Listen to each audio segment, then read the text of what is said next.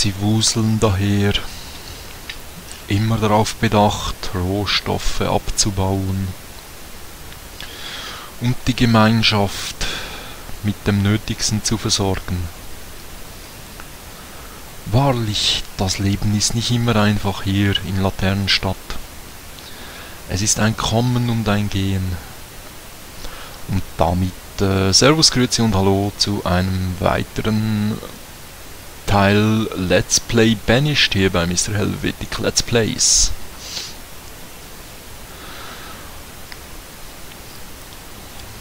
Ja, unsere Rohstoffe gehen langsam wieder auf, die Werkzeugkrise ist überwunden. Ebenso die Kleidungskrise, obwohl da hatten wir keine, da sind wir ja haarscharf dran vorbeigeschrammt.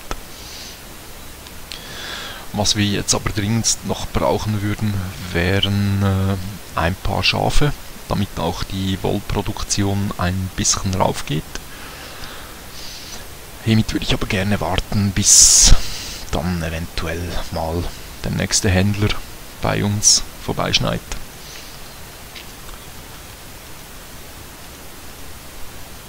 Gut, unsere Lagerplätze. Sie sind zwar noch nicht übervoll, aber ich werde jetzt die letzten zwei Lagerhäuser trotzdem schon mal in Auftrag geben. Sicher ist sicher, man weiß ja nie.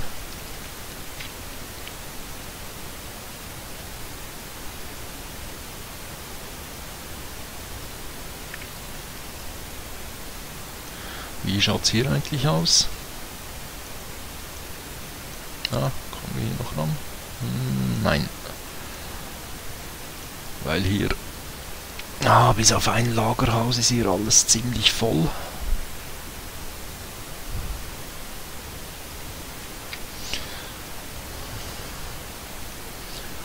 Ich bin mir am überlegen, hier unten bekommen wir wohl keines mehr unter. Allerdings hier hier würden mal noch zwei hinpassen. Dann könnte man auch hier noch ein paar hinstellen.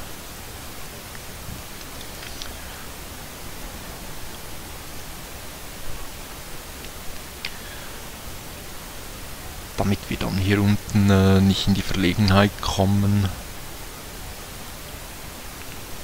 dass dann wieder zigtausendmal das Warnungfenster aufblinkt, die Kapazität der Lager, bla bla bla, ihr kennt es ja. Deshalb geben wir hier doch auch gleich mal noch sechs Stück in Auftrag. Wir müssen uns wirklich langsam überlegen, ob wir hier nicht vielleicht einen zweiten Handelsposten platzieren wollen.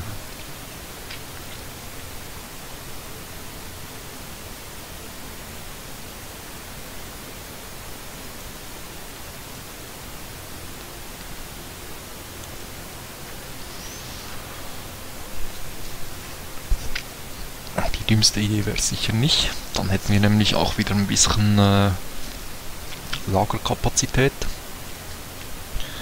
Weil hier äh, ja, Lebensmittelhändler brauchen wir nicht. Weil hier die Kapazität äh, vom Einlagern schon relativ voll ist, dann könnte man es ein bisschen aufteilen, so dass naja, ungefähr je 50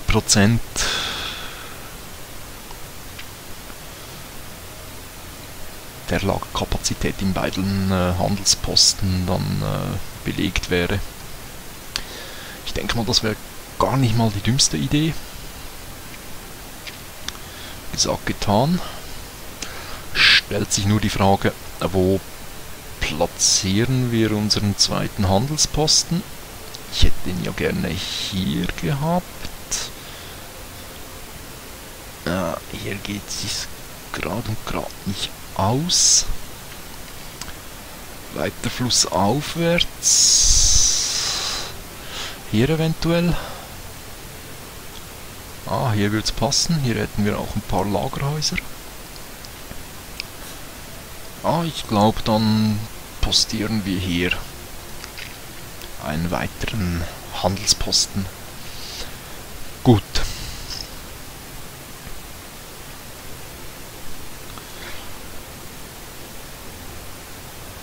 Schauen wir mal, ob hier oben fertig gebaut wurde. ja, die zwei stehen. Hier wird sich auch bereits drum gekümmert. Dann bauen wir hier unten einfach mal noch ein bisschen Ressourcen ab. Eventuell könnte man hier so ziemlich alles freiräumen. Und sich dann später mal überlegen, ob man vielleicht hier unten noch äh,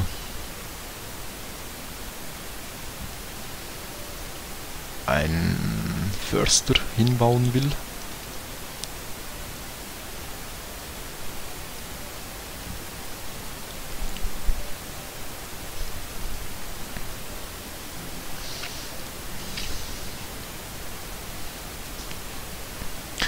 Ah, langsam aber sicher äh, kommen auch neue Arbeiter nach. Das ist so verkehrt gar nicht. Jetzt müsste dann einfach irgendwann mal der passende Händler kommen.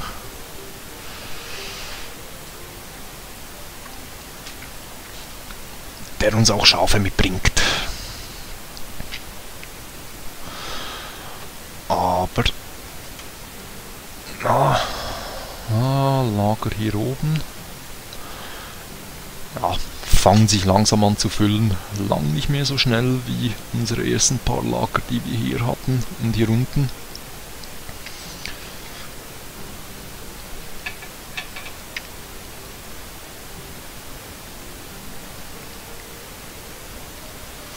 Gut, jetzt stocken wir hier mal die Kapazität der Bauarbeiter.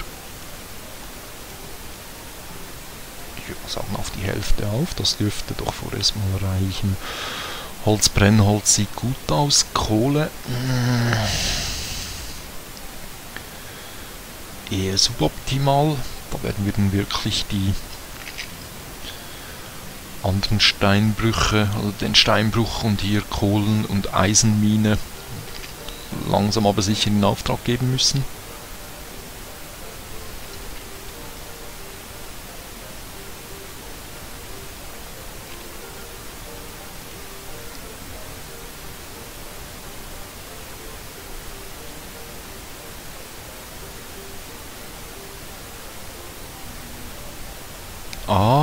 Nomaden. Ich habe doch gedacht, ich habe da was gesehen.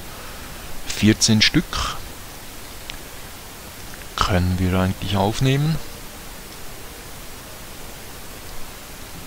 Allerdings fehlt es uns dann noch an ein paar Behausungen.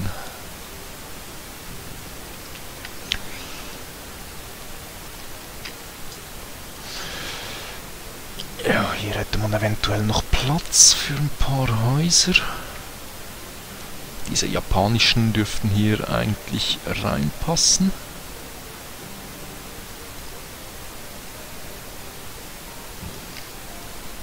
Gut, ein Problem weniger. Und jetzt stellen wir hier dann eben einfach nochmal eins hin. Passt auch mit dem Platz. Das ist insofern gut, als dass wir hier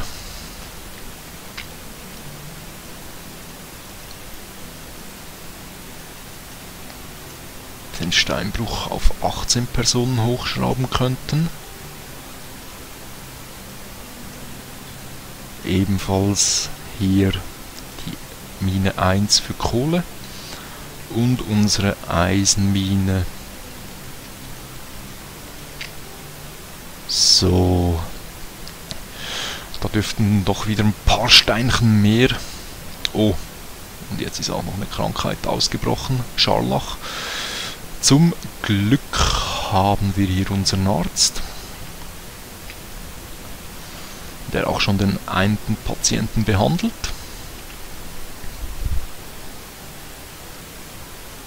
Ne, natürlich noch nicht. Der muss sich jetzt erstmal auf den Weg zum Arzt begeben, in der Hoffnung, dass er dabei keine weiteren Siedler ansteckt, aber es sieht gut aus und er ist beim Arzt. Und ist beim Arzt. Und ist beim Arzt. Und ist beim Arzt. Und da haben wir schon den zweiten Kranken. Ah.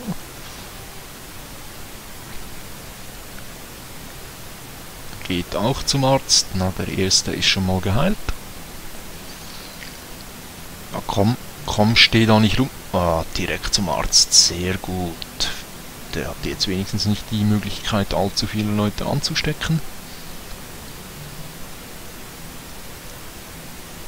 Aber es kam ein Dritter dazu.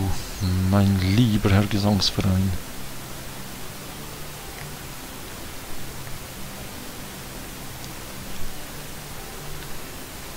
Und der nächste Händler kommt. Na, um Scharlach mache ich mir jetzt nicht allzu große Sorgen.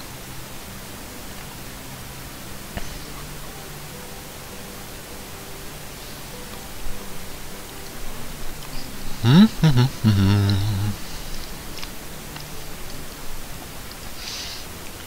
Ja, Hände für Allgemeingüter. Ich hoffe jetzt mal, der könnte auch mit Tieren dienen.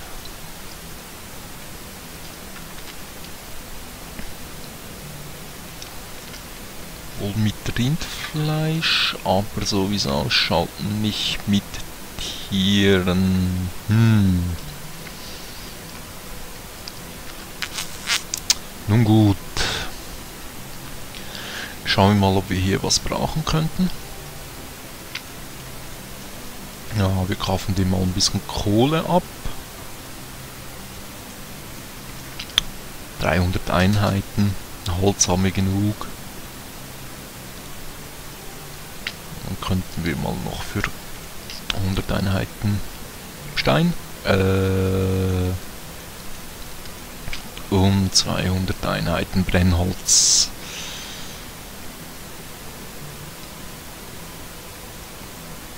Dafür geben wir dem Kollegen Essig Fisch.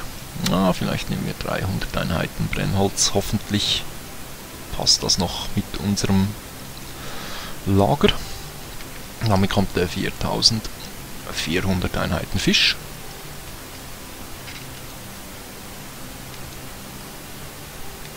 Und wir schicken ihn weg.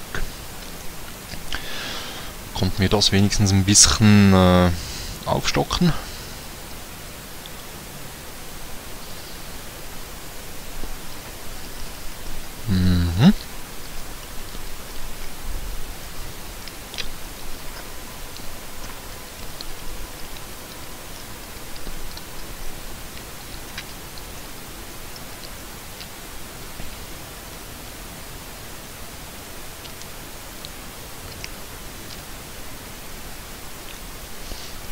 Was haben wir denn hier für eine Limite? Hier haben wir 4. Dann schrauben wir die hier auch mal runter auf 4. Dann haben wir nämlich beide Handelsposten komplett äh,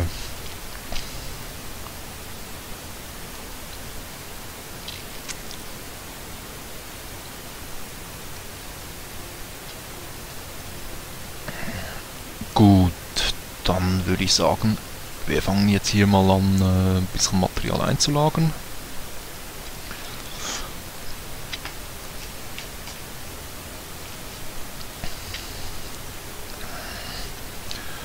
Mal sicher 1000 Kräuter kommen rein.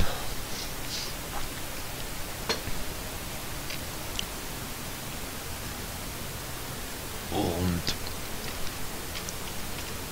1000 Rindfleisch und 1000 Wildbrett.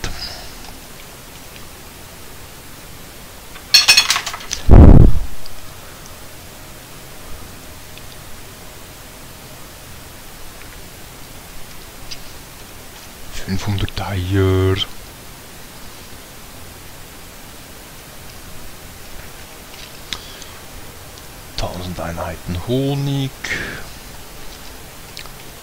Tausend Einheiten Milch. Und eventuell könnte man hier auch ein bisschen Handelfleisch einlagern. Das haben wir hier. Machen wir mal 500. Ah, und Fisch. 5000.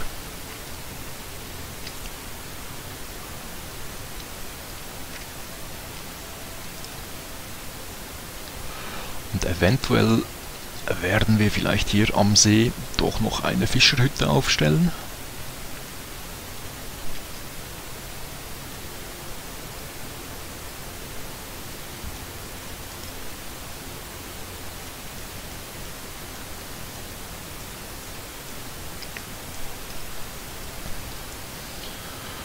Einfach nur um äh, unsere Handelsposten dann auch mit genügend äh, Einheiten Fisch versorgen zu können.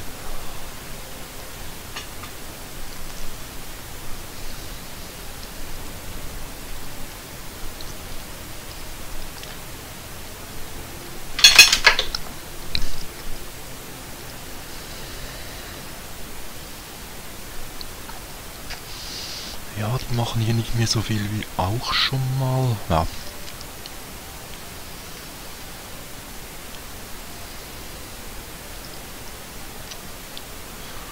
Vielleicht gar die blödste Idee, uns da nochmal eine Fischereihütte hinzustellen. Auch wenn wir uns lebensmitteltechnisch mit 100, über 115.000 Einheiten noch nicht allzu viele Sorgen machen müssten besser vorsorgen, als dann quasi vor null Lebensmittelreserven dazustehen.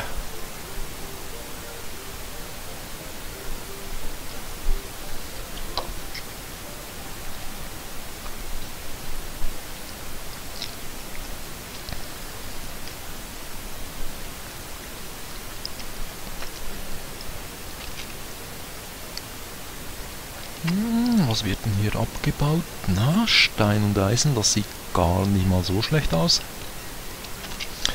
Bisschen Holz steht hier auch rum. Doch, doch. Ich würde mal sagen, das passt. Auch der Markt hier oben, der ist gut voll. Nicht übervoll, aber das muss ja auch nicht sein. So. Gibt es hier nochmal vier Fischer.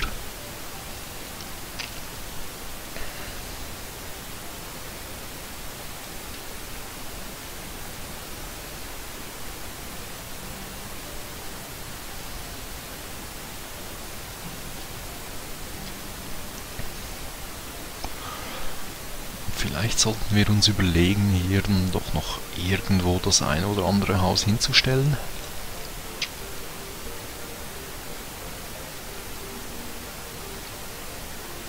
Aha. Da kam unser erster Händler. Ah, Rohstoffhändler. Brauchen wir so nicht.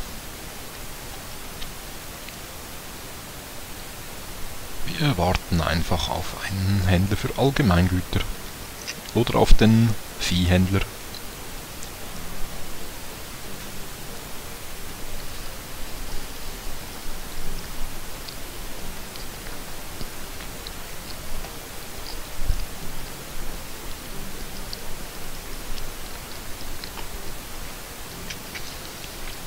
Ansonsten werden wir dann hier vielleicht auch anfangen, die Schafherde hier aufzusplitten.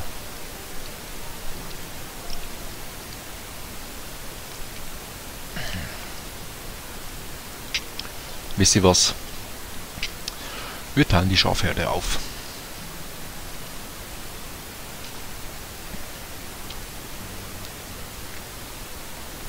Sonst warten wir hier ewig um drei Tage.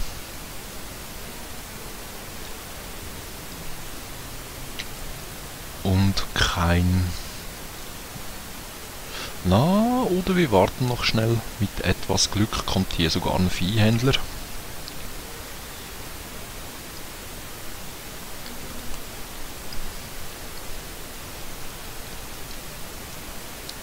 Ja. Es wären Viehhändler. Geben wir jetzt hier den Schafen geben wir einfach mal die Schafe in Auftrag bei jedem Besuch. Schicken den wieder weg. Dann kommt er hoffentlich nächstens mal wieder vorbei. Und wir lassen das mit dem Aufteilen einfach mal.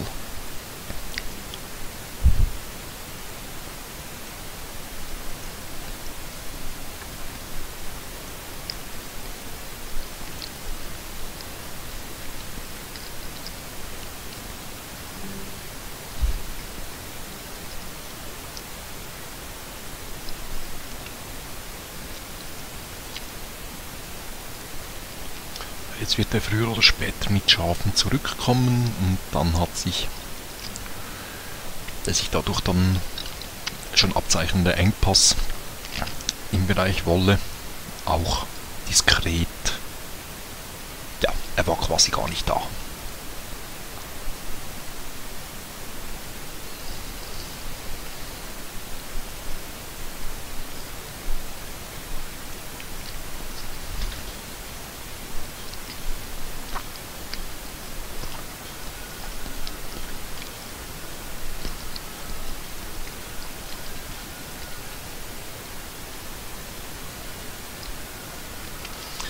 Was allerdings ein aktuelles Problem ist, ist die Wohnhaussituation.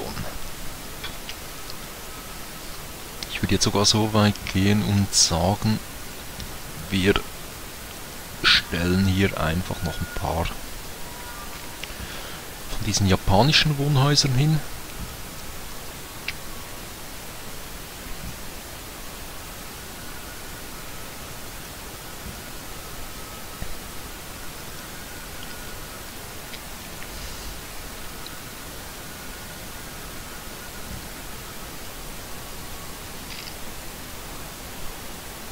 Einfach so,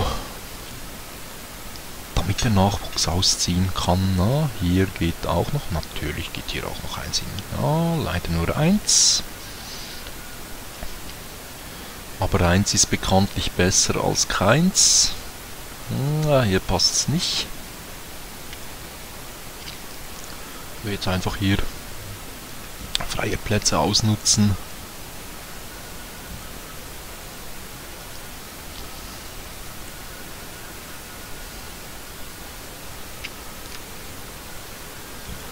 Könnte man hier oben auch mal noch ein paar hinstellen. Eventuell, dass dann die von unseren Feldarbeitern beheimatet werden. Dann hätten die auch nicht mehr einen allzu weiten Arbeitsweg. Hier entlang können wir auch noch ein paar Häuser aufstellen. Ist jetzt so natürlich nur eine Übergangslösung.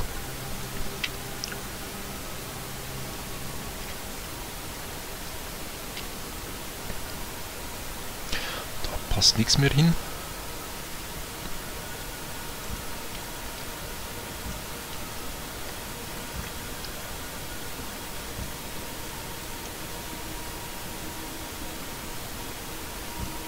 Hier geht noch das ein oder andere. So. Ah, da nicht mehr. Aber jetzt haben wir jedenfalls wieder ein bisschen Wohnfläche geschaffen. Sollten jetzt aber auch schauen, dass uns dann die Holzvorräte nicht ausgehen, weil immerhin braucht eine von diesen Japanerhütten 50 Einheiten Holz.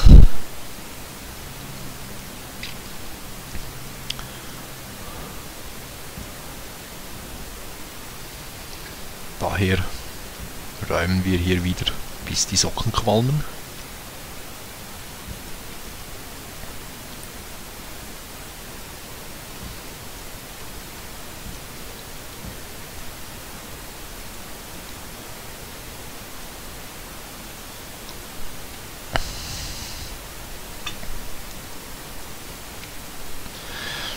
Ja, ja, und solange unsere Siedler an Altersschwäche sterben und nicht an irgendwie Hunger oder an Krankheit, so lange haben wir alles richtig gemacht.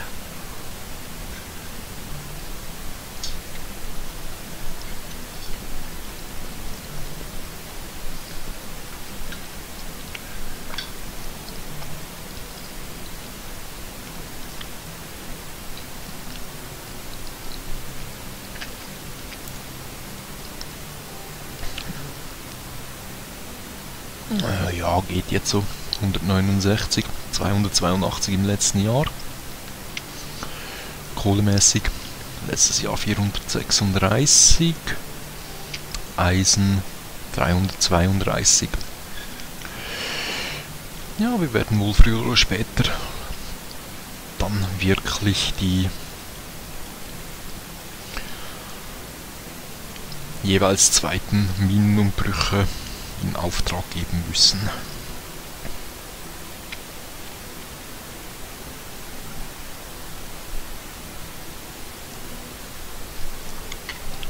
Oh, und der nächste Händler ist da. Hm. Ah, das ist ein anderer. Da müssen wir die Schafe auch nochmal in Auftrag geben. Wir schauen uns jetzt aber gleich mal an, was der so zum Tausch nehmen würde. Nichts von dem, was wir hier haben. Gut. Ich denke mal, ich weiß, was der will. Eisen haben wir 1100.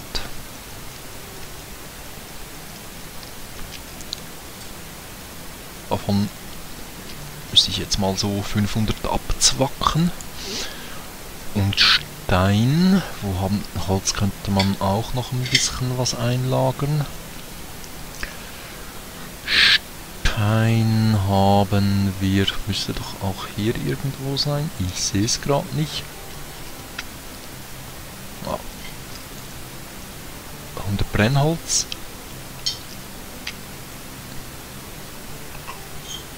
Stein, hallo, ach hier unten. Mal 200, ich denke mal, das dürfte dann für ein paar Schafe reichen.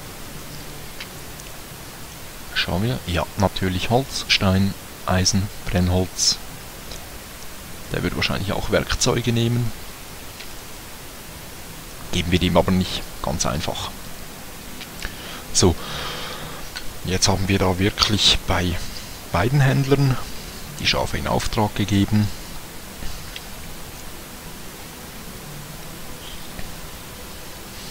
Mir bisher nicht bewusst, dass äh, für jeden Handelsposten äh, da quasi ein separater Händler kommt.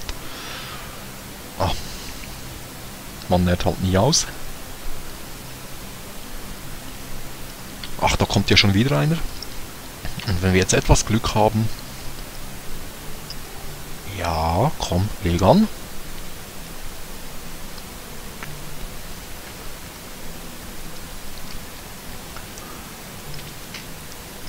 Ja, wenn wir etwas Glück haben, kommt der Saatguthändler. Hm. Leg wieder ab. so, die ersten Häuser stehen schon. Die sind auch schon äh, oh, ganz gut belegt. Da kann man nichts sagen.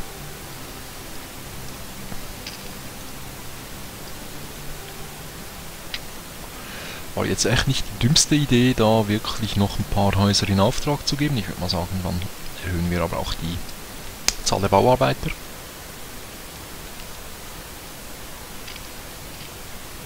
Tja, hier werden uns die Immobilien aus den Händen gerissen.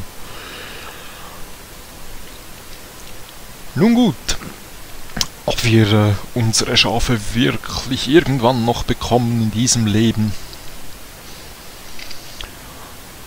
Das werden wir eventuell schon im nächsten Part sehen. Bis dahin verabschiede ich mich aber von euch. Hoffe, es hat euch ein bisschen Spaß gemacht hier in Laternenstadt. Wenn ja, lasst ein Abo, einen Daumen fürs Video oder aber einen Kommentar hier. Ansonsten würde ich mal sagen, tschüss zusammen und bis zum nächsten Mal. Euer Mr. Helvetic Let's Plays hier auf YouTube. Tschö mit Tschüssi mit Tüssi.